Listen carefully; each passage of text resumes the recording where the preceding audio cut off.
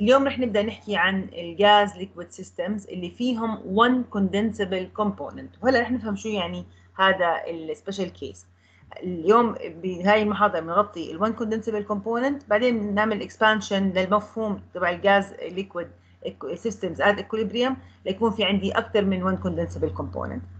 فهلا بحكي لي إنه systems containing several components of which only one is capable of existing as a liquid at the process conditions are common in industrial processes. كثير في عندنا systems بيكون عبارة عن فيها mixtures of gases لكن من كل هدول ال gases بس بيكون عندي بس one component موجود قابل لأنه يصير له condensation ويتحول لل liquid.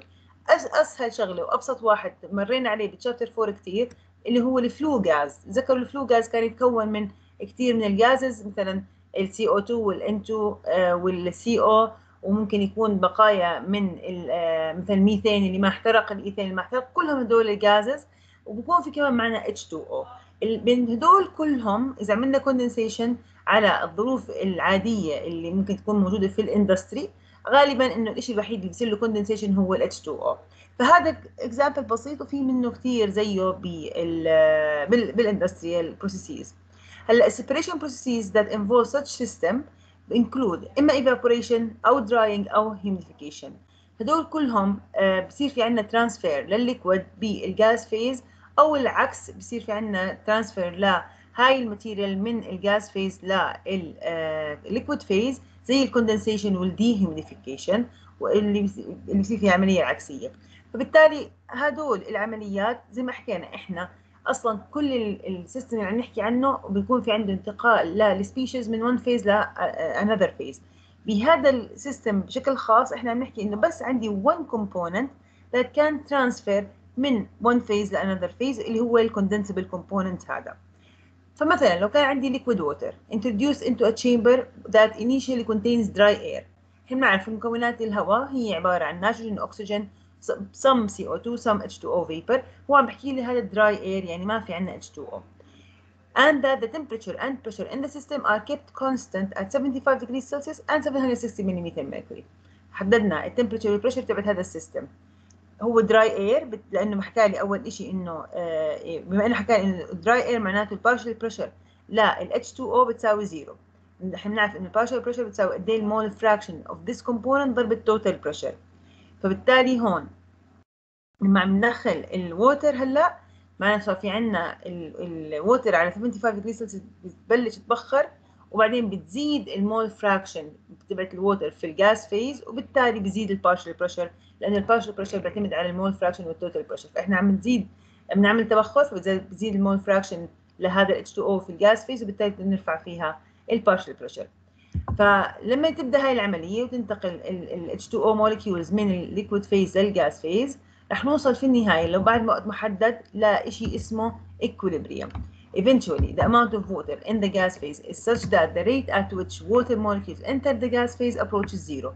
خلص شو اللي بصير إنه بعد فترة بنتقل كمية كافية من ال H2O بحيث إنه تعمل إشباع للهواء اللي موجود هون وبنوصل لمرحلة ال saturation. لما نوصل لهي المرحلة ما بصير في عندنا أي تغير بال composition مع الوقت لا بال gas phase اللي مكون هلأ صار من air زائد H2O ولا بال liquid phase okay؟ فبهاي الحالة لما نوصل لهي النقطة إحنا بنسمي هذا ال gas phase عبارة عن saturated with water. okay؟ إيش يعني saturated with water يعني موجود فيها أكبر كمية ممكنة من تتحملها من المي من على هاي ال temperature وال pressure تبعت هذا ال system وما يعني إذا زدت عليها أي شيء إضافي ما راح تقدر إنها تحمله راح تطرده أو تطلعه برا ال gas phase فزي ما قلنا ال gas phase اسمه saturated وال water الموجود في ال gas phase بنسميه saturated vapor okay اللي هو موجود بال gas phase لكنه بكون إيش؟ بهاي الحالة in equilibrium مع ال liquid phase فبنسميه saturated vapor فهلا لو اجينا طبقنا ال Gibbs phase rule على هذه ال equilibrium system لاحظوا إنه في عندنا two components اللي هم الاير والاتش 2 أو وفي عندي two phase اللي هم ال liquid والغاز بطلع معي degree of freedom بهاي الحالة اثنين.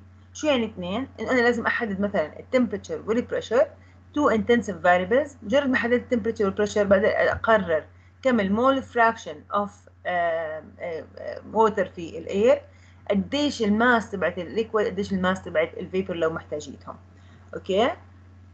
فهلأ المفروض يكون في عندي relation تربط لي بين ال temperature وال pressure وال mole fraction هدول الثلاثه components اللي بقدر مجرد إني أحدد اثنين منهم أحدد أطلع الرقم الثالث أو ال properties الثالثة. بما إنه أنا بقول إنه أنا بحتاج two intensive variables معناته definitely. عشان أحدد باقي ال properties اللي هي مثلا ال mole fraction of H2O في ال vapor phase لازم يكون في عندي علاقة تربط بين هدول الثلاثة. شو هاي العلاقة؟ هي هذه اللي حنتعرف عليها هلأ. فهلأ إذا كان الغاز هاي العلاقة شو؟ بتقول لي؟ انه إذا كان الغاز at temperature T and pressure P contains a saturated vapor whose mole fraction is Yi اللي هي ال vapor الموجود جوا هذا ال gas phase وشو يعني مول فراكشن زي ما بنعرف احنا هو المول للفيبر على التوتال moles of uh, gas and if the vapor is uh, the only species that would condense if the temperature were slightly lowered يعني المادة هاي هي المادة الوحيدة القابلة لأن تصير لها تكثف condensation هذا بقول لي إنه بيعني لي إنه partial pressure of vapor in the gas PI equals the pure component vapor pressure PI star of T at the system temperature إذا كان وصلنا لمرحلة إنه ال saturated vapor الموجود فيه هذه ال gas phase وإنه ما في عندنا أي تغير عم بيصير. وصلنا لمرحلة ال equilibrium حيث إنه كل الكمية اللي ممكن تطلع من ال H2O تروح على ال air خلص طلعت وما في تغير بال composition مع ال time فإحنا هيك بنكون وصلنا للقاعدة إنه ال partial pressure هاي بتساوي ال vapor pressure ليه ال partial pressure بتساوي ال vapor pressure؟ لأنه هذا هو ال driving force بضلنا إحنا تطلع كمية من المي لحد على ال gas phase لحد ما نوصل لهي النقطة إنه هاي نقطة ال equilibrium ال saturation فهذه العلاقة اللي بتقول لي إن ال partial pressure واللي بقدر أحسبها من ال mole fraction times ال total pressure زي ما تعلمنا ب chapter 5 هذا هذا الجزء اللي هو من هون لهون اللي هو إن ال partial pressure بيساوي ال vapor pressure هذا بسميه Raoult's law وهذا special case من Raoult's زي ما حكينا اللي هو بس لما يكون عندي single compon condensable species هنعمل expansion زي ما قلنا بال section اللي بعده ونفهم إذا كان عندي أكثر من component أو species قابل لانها يصير لها condensation كيف بيكون شكل هاي المعادلة؟ لكن حاليا بنفهم إنه ال partial pressure بيساوي ال vapor pressure لهاي المادة اللي هي وحيدة القابلة لإنها تصير لها كوندنسيشن تمام؟ فهلأ زي ما قلنا بنركز على كلمات اللي هو الاكوليبريم والساتوريشن A gas in equilibrium with a liquid must be saturated with the volatile components of that liquid. لما نحكي كلمة equilibrium معناته إنه liquid phase in equilibrium with the gas phase ومعناته إنه الجاز phase is saturated بالvolatile components الموجودة في الليكويد. فهلا ال partial pressure of a vapor at equilibrium in a gas mixture containing a single single condensable component cannot exceed the vapor pressure of the pure component at the system temperature. إذا أكثر شيء ممكن يوصلوا ال partial pressure لأي component موجودة بال gas phase هي ال vapor pressure لهاي ال component على هذه ال temperature تبعت ال system. Okay؟ وبالتالي إذا كان عم نحكي إحنا إنه ال partial pressure ما يعني بضلها تزيد تزيد تزيد تزيد لما توصل لل vapor pressure. لما ال partial pressure بتساوي ال vapor pressure زي ما قلنا بنحكي إنه ال vapor is saturated أي محاولة لزيادة ال partial pressure إما بإني أزيد ال vapor على ال gas phase أو إني أزيد ال total pressure لأنه إحنا نعرف إنه ال partial pressure بيساوي ال mole fraction في ال في ال P فمثلا زدنا ال y i عن طريق إضافة more من هذا ال vapor على ال gas phase أو زدنا ال pressure طالما إنه ال P i بتساوي ال P i star أي زيادة من هذا النوع راح تؤدي إلى إنه يصير له condensation للكمية الإضافية وتطلع من ال gas phase ترجع على ال liquid phase okay؟ خلص وصلت لمرحلة الإشباع. ما بدي أضيف عليها أي شيء ثاني إلا إذا غيرت ال conditions okay؟ فهلأ إذا رفعت ال temperature طبعا بصير عندي في مجال لاني أضيف مواد أكثر لكن بحالة إنه إحنا آه يعني ال P i بتساوي P i star وحاولنا إنه نزيد ال P i ما راح نقدر إن نزيدها فعليا لأنه أي إضافة راح تنزل من ال gas phase تنزل على ال liquid phase فهلأ ال vapor in a gas in less than it is its saturation amount is referred to as superheated vapor. فإذا سمعنا كلمة superheated vapor بفهم إنه أنا لسه ما وصلت لمرحلة الإشباع. أنا بمرحلة إنه ال partial pressure لسه أقل من ال vapor pressure فأنا إذا كنت في هاي المرحلة وأنا بدي أوصل لل condensation فإحنا عندي ال y i في ال P أقل من ال P i star في ال T فإنه أنا يا إما بدي أزيد هذا ال term أو أقلل هذا ال term عشان أوصل انهم يصيروا يساووا بعض. فاوصل لل condensation okay؟ فممكن إني أزيد ال pressure زي ما هو مبين عندكم هون. فاني اعمل compression لهذا ال system. أو أزيد ال composition أو ال mole fraction لل component اللي عندنا إياه ال volatile okay؟ أو الحل الآخر إني أقلل ال temperature لأن إحنا إذا قللنا التمبريتشر معناتها حقلل ال vapor pressure ممكن ساعتها أوصل من ال vapor pressure لل partial pressure أي سؤال؟ طيب. كلها هم مصطلحات مهم ان نفهمها ونفرق بيناتهم. زي ما حكينا قبل شوي شو يعني saturation مرتبطة بال equilibrium شو يعني superheated إن أنا لسه ما وصلت لل equilibrium هاي وإن أنا ال partial pressure لسه أقل من ال vapor pressure فهلأ الشيء الثاني إنه إذا كان عندي gas containing a single superheated vapor is cooled at constant pressure عم ببرد ال temperature إحنا زي ما حكينا بنوصل لل condensation هلأ أول نقطة بوصلها بتكون فيها ال vapor saturated يعني بتصير عندنا إنه ال vapor pressure بتساوي ال partial pressure هاي ال temperature اللي وصلت لها هي اسمها ال dew point فبالتالي ال dew point of the gas هي ال temperature اللي بتكون عندها ال vapor pressure لهذا ال component ال condensable component بيساوي ال partial pressure لهذا ال component في ال gas phase الفرق بين ال temperature اللي أنا بديت منها وال dew point بسميها degrees of superheat. يعني ممكن يعطيك أنت بالسؤال قد إيه dew point أو بقول لك إنه هاي هي ال temperature تبعت ال system وهو at مثلا 5 degrees of superheat. يعني أنا بعرف من هذا الحكي إنه ال dew point هي أقل من ال temperature تبعت ال system بخمس درجات. فمثلا كانت الحراره عندي إياها 75 فأنا بعرف إنه لازم أنزل ل 70 عشان أوصل لل condensation فال degrees of superheat هي قديش الفرق بين ال temperature تبعت ال system وال dew point of that system. على هاي ال pressure نفسها.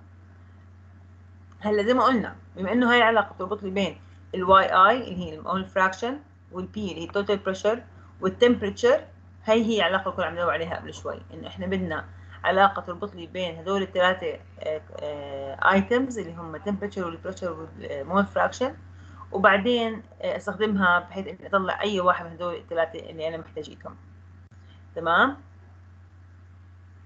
فهلأ كيف بدي أستخدمهم هذول؟ زي ما قلنا أنا بحتاج ال vapor pressure عند كل ال temperature فبحتاج table أو graph أو equation relating vapor pressure مع temperature وعشان هيك المرة الماضية مرينا على ال Clausius Clapeyron equation أو ال Antoine equation أو ال Cox chart هذول كلهم مصادر مختلفة بدي استخدمها عشان أحسب منهم ال vapor pressure at any different at any temperature. مع ال Raoult's law هدول التنتين مع بعض اللي ال Raoult's law هذا اللي هون. هدول المعلومتين مع بعض بقدر إني أحسب أي شيء بحتاجه من هدول الثلاثه items أو ثلاثة components إذا كنت بعرف اثنين منهم. تمام؟ فهلأ بنحكي عن شغلة ثانية مرتبطة فيها برضه موضوع ال evaporation هلأ زي ما شفنا قبل شوي بالمثال بس كنت حاطط لكم إياه ال evaporation شو بحكي بحكي إنه في عندنا انتقال لل molecules من ال liquid phase لل gas phase فال mechanism evaporation of a liquid تعتمد بشكل أساسي على relative values of the vapor pressure of the liquid and the total system pressure.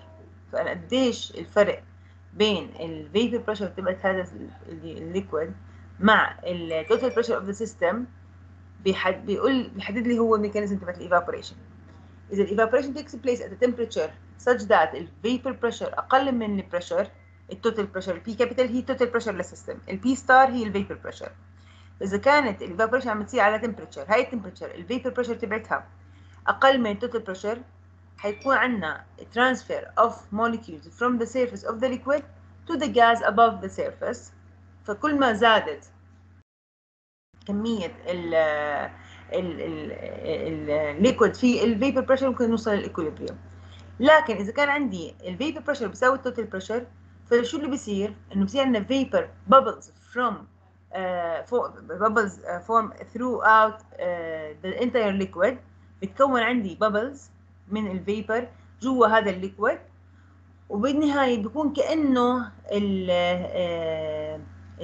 ال vapor هذا عم بنتقل من ال liquid لل vapor وبنفس الوقت ال liquid نفس ال component هذا بيرجع على ال liquid. فهون بصير عملية ال boiling okay؟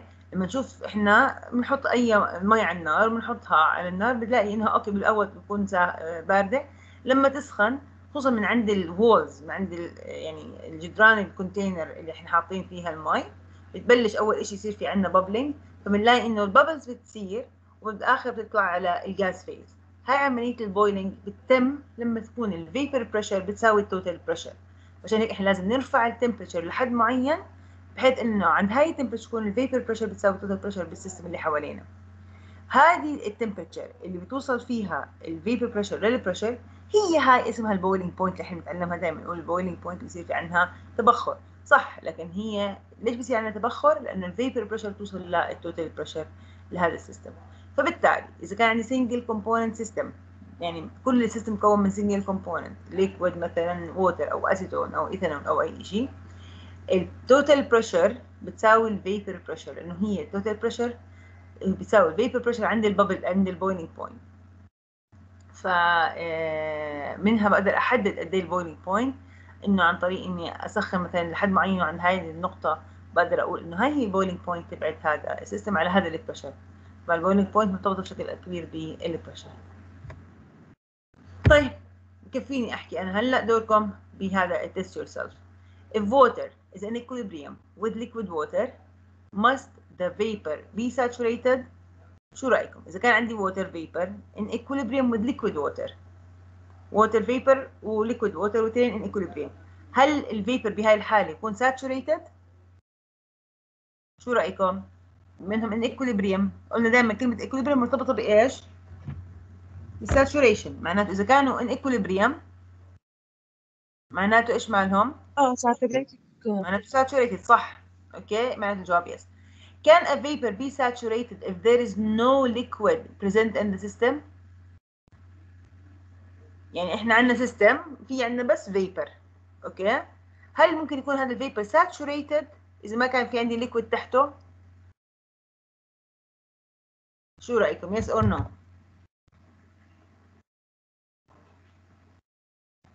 نشرح اللي حكيناه قبل شوي. شو قلنا؟ إن saturated vapor إيش ماله بكون in equilibrium مع ال liquid لكن إذا ما كان في liquid هل م... هل بقدر أحكي ان هذا saturated vapor إيش الشرط إذا كان عندي saturated شو قلنا؟ لازم يكون إيش؟ إذا كان ال vapor pressure بيساوي ال total pressure معناته yes vapor is saturated حتى لو ما في liquid. okay؟ يعني لو كان كل ال container بهذا الشكل وهذا ال container ال vapor pressure لهاي ال material الموجودة هون بتساوي ال total pressure معناته yes إحنا برضه الجواب بيكون إنه yes ممكن يكون ال vapor saturated إذا ما كان في عندي liquid موجود في هذا ال container هون. okay؟ واضحه الفكرة؟ يعني مش لازم يكون في عندنا هون إنه هذا saturated vapor yes هلا هو ال saturated مش لازم يكون يعني two component ببعض ولا هيك؟ مزبوط فإحنا بنحكي طيب عن إذا كان غاز لحاله كيف إيش الإشي اللي معه عشان يصير saturated مش غاز لحاله هو عبارة عن condensable component هون. موجود مثلا في واحد ثاني non condensable nitrogen أو air أو أي شيء بس هذا اللي هون هل ممكن يكون saturated السؤال إنه هل ممكن هذا نسميه saturated إذا ما كان في عندي هاي ال liquid الموجودة تحتها؟ هذا هو الفكرة عرفت كيف؟ يعني إحنا عندنا one component condensable بال other non condensable species موجودة في ال gas phase هذا ال vapor ممكن يكون saturated إحنا قلنا أنت بسميه saturated vapor من التعريف اللي حكيناه بالأول إنه الجاز إنه ال water in the gas phase is referred to as a saturated vapor. بس هي ال water الموجودة هون هدول النقاط الموجودة هون ال water molecules بسميهم saturated vapor إذا كنا وصلنا لمرحلة ال equilibrium والشرط تبع انه نوصل لمرحلة ال equilibrium في هاي الحالة إنه ال vapor pressure بيساوي ال total pressure okay؟ وضحت الفكرة؟ آه واضحة. السؤال الثاني بيقول لي the vapor pressure of acetone is 200 mm mercury at 220 uh, sorry 22.7 degrees Celsius. Liquid acetone in is uh, is kept in a sealed flask at 22.7 degrees Celsius and the gas above the liquid contains air and acetone vapor at a pressure of 960 millimeter mercury. السؤال بيقول لي what is the partial pressure of acetone in the gas؟ ال partial pressure PI راؤول سلو بيقول لي او م- مش بي مش راؤول سلو ال PI دايما بتساوي ال YI في ال P total وراؤول سلو بحكي لي انه هذا الحكي بيساوي P star at the temperature of the system. فهلا اول سؤال بقول لي قد إيه ال partial pressure of acetone موجود عندها الحرارة 22.7 موجود in equilibrium وهذا ال- في flask ال flask مكون من آه، أو بيحتوي على air و آه، اسيتون فكم ال partial pressure of acetone هي نفسها دكتورة ال vapor pressure بالضبط. هي نفس ال vapor pressure اللي بتساوي 200 إذا ال partial pressure of acetone بتساوي 200 ملم mercury إذا ال partial pressure of acetone بتساوي 200 ملم mercury بعدين بقول لي قد إيه ال partial pressure of nitrogen شو رأيكم؟ إحنا ال total pressure 760 ال total pressure هاي 760 ملم mercury. مكون من acetone و air وين النيتروجين طيب؟ وين النيتروجين؟ بالاير بالاير اللي هي عندنا 0.21 اكسجين و 0.79 نيتروجين طيب قد إيه ال partial pressure of acetone حكينا 200 طب كم ال partial 200. pressure of air تذكروا إحنا حكينا ال total pressure بيساوي مجموع ال partial pressures مظبوط؟ من chapter 5 هاي مش من هلأ. فإحنا إيش في عندي؟ في عندي اسيتون ووت و air عفوا. فإحنا إذا عم نحكي إنه ال P total عم بحكي لي 960 والاسيتون 200 معناته قديش ال partial pressure لل air بالضبط 760 هاي لل air بس أنا ما بدي لل air بدي للنيتروجين. شو بدي أقول؟ لل nitrogen partial pressure لل nitrogen. هي 0.9 0.79 ضرب 760 ال 760 كل ال air لكن النيتروجين هو 79% من الناترو من ال air. ما تضرب 79% ب 760 بيطلع معي ال partial pressure لل nitrogen تمام؟ What is the هلا what is the mole fraction of acetone in the gas أكيد أحسب ال mole fraction of acetone من نفس هاي المعادلة. صح؟ قلنا ال partial pressure 200 ال total pressure 760 معناته ال partial ال mole fraction of آه، acetone بتساوي 200 على ال 760 سوري على 960 total pressure أوكي بهاي الحالة what assumption have you made in answering the preceding question شو إحنا هون عملنا assumption embedded embedded embeddedly embeddingly اللي هي إيش انه إحنا عم نفترض انه بس عندي ال water هو ال condensable وانه ال air اللي عم نحكي عنها موجودة هي dry air أوكي انه إحنا لما عملنا ال mixing هذا مع ال air هو ما كان في عندنا uh, condensable uh, material هي بس عندي acetone هلا how would you determine the boiling point of the acetone assuming a constant total pressure of 960 mm mercury كيف بدي احدد ال boiling point of the acetone بهذا السيستم عن طريق هذا السيستم اللي هو ال total pressure بتساوي 760 شو قلنا هلا؟ نرجع هون. ال boiling point عند ال boiling point لازم تكون ال total pressure بتساوي ال vapor pressure فهلا بدي أشوف قد إنه قد إيه- أي temperature بيكون عندها ال vapor pressure شو بيساوي؟ ال total pressure اللي هو قديش؟ كم ال total pressure عندنا يا لجين؟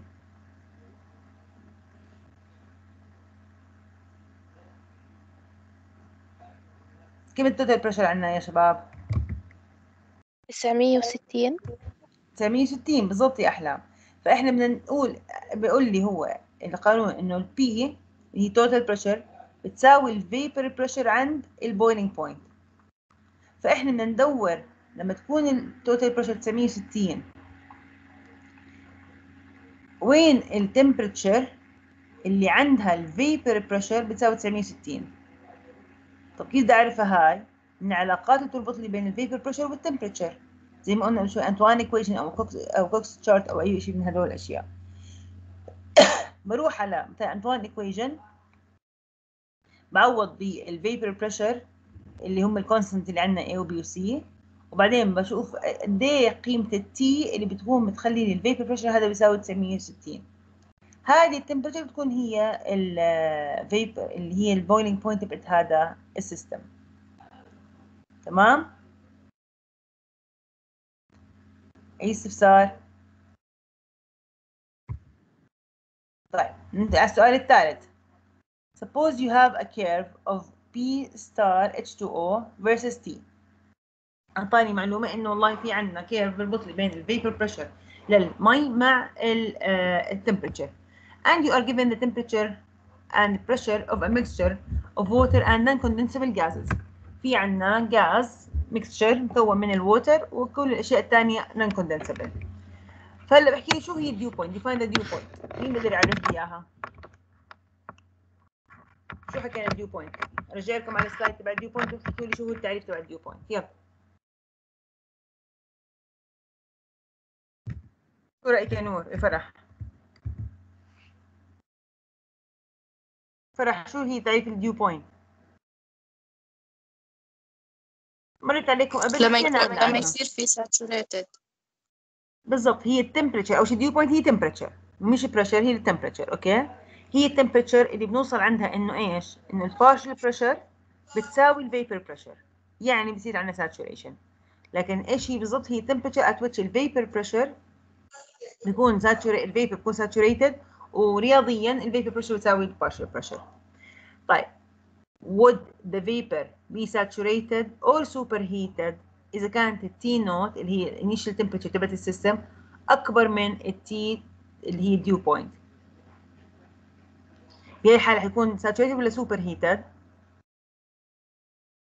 كملي معي فرح سوبر superheat بالضبط. لأنه لسه في عندنا مجال لسه بدي أرفع ال temperature لحد ما أوصل لل saturation إذا كان T naught بتساوي دي T ال dew point هاي الحالة شو بتكون؟ لا بكون هون saturated. بالضبط بكون هون saturated إذا إذا كان عندي ال T naught أكبر من ال dew point معناته أنا عندي سوبر هيتد لازم أبرده عشان أوصل لل dew point وأبصير عندي ال condensation أوكي؟ هو superheat هو مسخن بزيادة.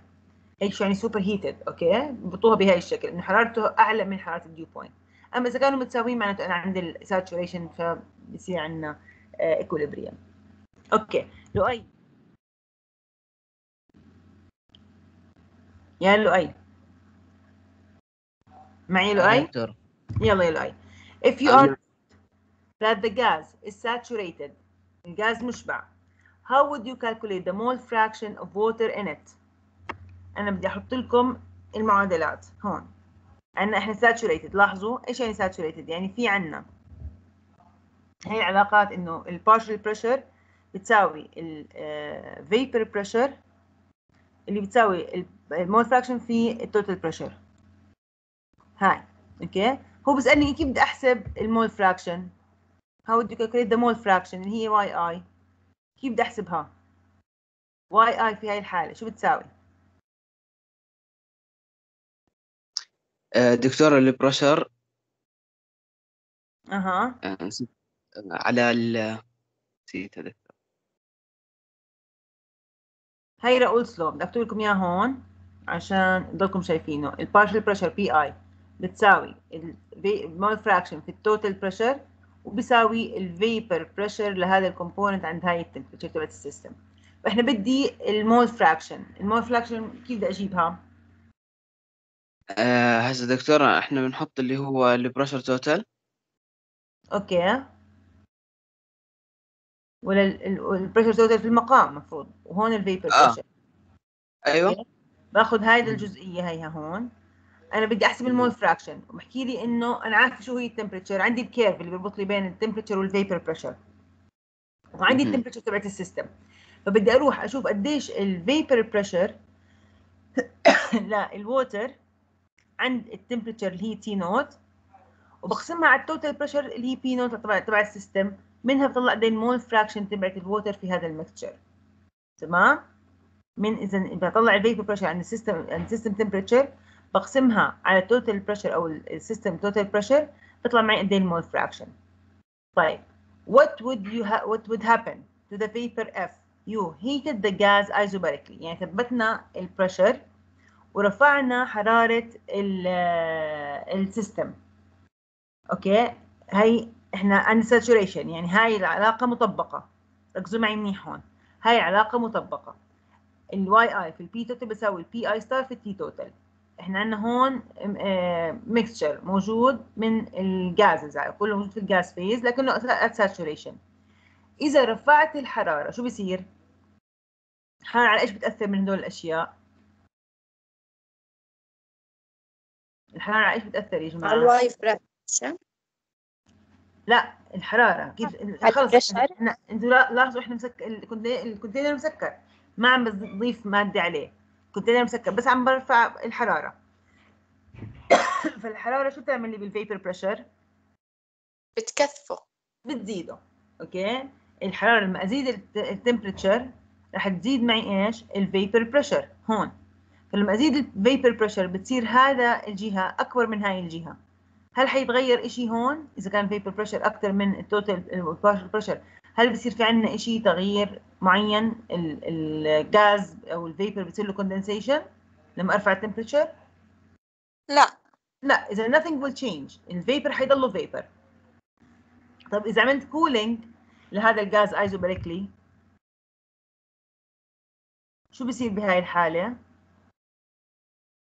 نفس ال pressure لكن عملت cooling فتنزيل الحرارة بده يقل ال vapor pressure تمام؟ وبالتالي لما تقل ال vapor pressure شو بصير عندنا بال system؟ بده يرجع لل equilibrium فكيف بده يرجع لل equilibrium عن طريق إنه إيش؟ هاي قلت okay؟ فعشان يرجع صارت هذه أقل من هاي. صارت عندي ال y i في ال P total أكبر من ال P i star لما نزلنا الحرارة. فعشان نرجع لل equilibrium قلنا شو لازم نعمل بهاي الحالة؟ هذا بده يقل هذا صح؟ عشان إحنا هو ال pressure ثابتة. فعشان يقل هذا ال term لازم ال y i تقل. عشان ال y i تقل شو لازم يصير معناته؟ condensation رح تقل كمية ال water الموجودة في ال gas phase ويصير لها كوندنسيشن تتحول للليكويد فيز فهمتوا كيف؟ إحنا ال temperature بنعرف لما نبرد لما نبرد الغاز الاشي اللي ممكن إنه يتكثف بتكثف بس هو ليش هيك بصير؟ لأنه إحنا بده بده لما نبرد الغاز بده يرجع يوصل للاكوليبريم، الاكوليبريم يعني الفيبر بريشر بتساوي البارشل بريشر هلأ التوتال بريشر ثابتة فعشان يقل ال partial pressure ونفس على نفس ال pressure فلازم ال mole fraction تبعت المي تقل في ال gas phase ال y i لازم تقل. كده تقل إنها يصير لها كوندنسيشن تطلع من الجاز فيز لها ترانسفير من الجاز فيز للليكويد فيز حلو الكلام؟ طيب. نرجع نشوف هون نفس إحنا برضه رجعنا عن نفس البداية من نقطة البداية هون إنه إحنا at equilibrium. شو عملنا؟ We compressed the gas isothermally. يعني ثبتنا ال temperature لكن عملنا compression يعني رفعنا ال pressure هلأ بهاي الحالة شو حيصير عنا؟ صارت عندي ال pressure هون عم بزيدها. فبالتالي هذا ال term y i في ال P برضه رجع مرة ثانية صار أكبر من ال P i star في ال T عشان أرجع لل equilibrium برضه شو لازم يصير؟ condensation. condensation ليش condensation عشان برضه ال y i تقل لأنه ال P زادت ال temperature ثابتة ما بد ما بصير في تغير عليها. فبالتالي لازم ال y i تنزل عشان تقلل لي هذا ال term ويرجعوا مرة ثانية بتساوي. إذا إذا بهاي الحالة عملت compression على نفس ال temperature isothermally بيصير له condensation آخر إشي إذا عملت expansion of the gas isothermally رفعت قللت ال pressure بهاي الحالة شو بده يصير؟ ولا إشي. قللت ال pressure يعني ال y i في ال P ال y i في ال P أقل من ال P i star صارت. ال temperature ثابتة. هلأ ما هذه الحكي وهون ال pressure قلت. فإحنا ما بقدر أزيد ال y i لأنه مسكر. فبالتالي ما حيتغير شيء حيضله الغاز في ال gas phase لكن حيصير على حراره على ضغط أقل غير قابل لل condensation. okay؟ طيب اخر الفرق الثالث بيقول لي if you are given the mole fraction of water in the gas how would you calculate the dew point of the gas أنا بعرف ال mole fraction بدي أحسب ال dew point فعلى إيش بدي أدور؟ بدور على ال dew point اللي هي ال temperature اللي عندها بتكون ال vapor pressure بتساوي ال partial pressure يعني بضرب ال mole fraction في ال total pressure اللي هي P naught وبدور على ال temperature اللي عندها ال vapor pressure الهاي تبعت هاي الماده الم- اللي هي H2O بتساوي ال partial pressure لإلها. okay؟ هاي ال temperature بسميها هي ال dew point هلأ آخر شيء ركزوا معي if you are given the degrees of superheat of the gas. How would you calculate the mole fraction of water? إذا أنا أعطاني قد إيه ال superheat. هذول كلهم أشياء مهمة يا جماعة. لأنه حتلاقوهم كمان شوي بال problems مرات يعطيكم ال dew point مرات يعطيكم ال degree of superheat كل مرة حيعطيكم معلومة مختلفة فبنعرف كيف نتعامل معهم واحدة واحدة فهلا إذا أعطاني degree of superheat شو حكينا يعني degree of superheat يعني كم درجة هذا ال vapor موجود أعلى من ال vap- من ال saturation أعلى من ال vapor pressure تبعته. فبالتالي أنا ال degree of superheat اللي هي عند ال temperature بدي أطرح من هاي ال temperature كم degree of superheat عشان أعرف قد إيه إحنا ال saturation temperature أو ال dew point temperature بقول ال T ناقص ال T superheat هاي هي ال temperature اللي عندي إياها جات saturation عند هاي ال temperature بشوف قديش ال vapor pressure وعند هاي ال vapor pressure بطبق Raoult's law عشان أشوف قديش ال mole fraction تبعت ال water بهذا الغاز. إذا ال temperature تبعت ال system. T naught بدي أطرح منها ال degrees of superheat عشان يطلع معي ال temperature اللي بصير في عندها saturation فال y i بقول إنها بتساوي ال vapor pressure عند هاي ال temperature على ال total pressure طبعا ال total pressure المفروض تكون معروفة. عشان أقدر أحسب ال mole fraction